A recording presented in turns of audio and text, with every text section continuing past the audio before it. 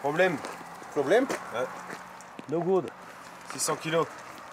Ce chauffeur polonais vient de se faire contrôler à la balance. Il est en surcharge de 600 kg. C'est une forte amende qui l'attend. Aujourd'hui, le contrôle cible toutes ces camionnettes de moins de 3 tonnes 5 qui viennent pour la plupart des pays de l'Est. On en voit de plus en plus sur les routes et la raison est liée à une réglementation qui les avantage. Alors on utilise des véhicules de 3 tonnes 5 simplement pour éviter de rentrer dans des réglementations qui sont extrêmement contraignantes pour les entreprises de transport françaises.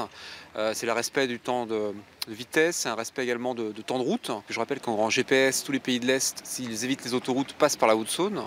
Donc comme l'a indiqué la gendarmerie, ce sont sur cette route près de 6000 véhicules jour. Ce contrôleur est au téléphone avec le patron d'un chauffeur d'une petite camionnette. Il est en Lituanie. L'échange se fait en anglais.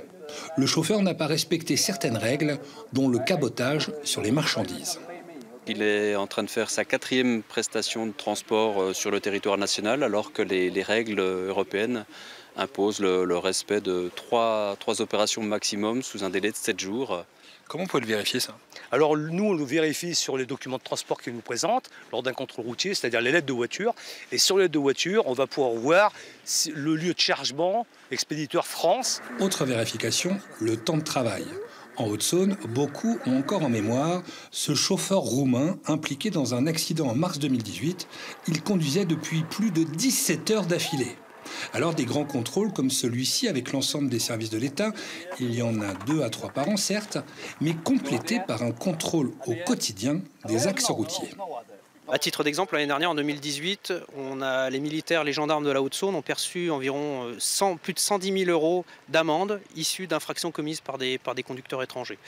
Donc c'est vraiment un combat, un combat de tous les jours, malgré euh, le, flux très important de ces véhicules.